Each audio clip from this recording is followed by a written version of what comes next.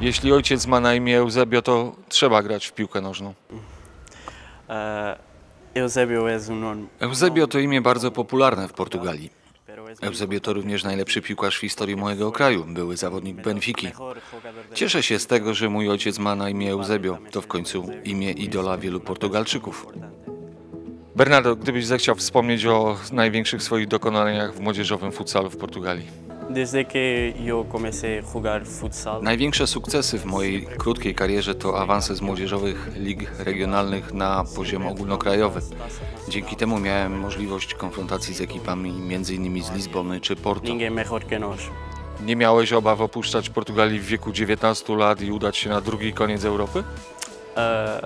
Sido Nie namyślałem się zbyt długo, gdy pojawiła się propozycja z rekordu. Chcę grać dużo, chcę grać jak najwięcej. Z futsalem wiąże swoją przyszłość. Nie, nie miałem obaw, zwłaszcza, że była to oferta z klubu znanego już w całej Europie. Gra w końcu w Lidze Mistrzów. Nie myślałem długo, spakowałem walizki i jestem.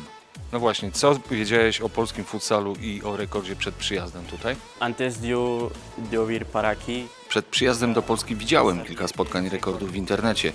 Wiedziałem więc, że idę do klubu z mentalnością zwycięzców.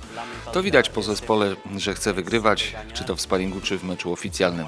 Choć jestem tu dopiero kilka dni, widzę, że polski futsal jest szybki, dynamiczny, momentami siłowy. Według mnie nie gorszy niż w Portugalii. Dlatego chcę grać tu, rozwijać się i odnosić sukcesy. Bernardo, jak oceniasz swoją grę i w ogóle sparring z Sośnicą Gliwice? Y Yo estaba muy ansioso por el juego de hoy. Myślę, że zagrałem dobry mecz. Jestem zadowolony, że zdobyłem jedną z bramek, ale najbardziej cieszę się ze zwycięstwa mojej drużyny. To dla mnie jest najważniejsze. Fue la victoria del equipo. Rozumiem, że twoim futsalowym idolem jest Ricardinho. Nie mylę się?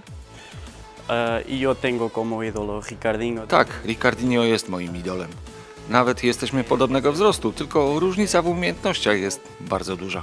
Ale mam nadzieję kiedyś zajść tak daleko jak Ricardinho, wygrać tak wiele jak on.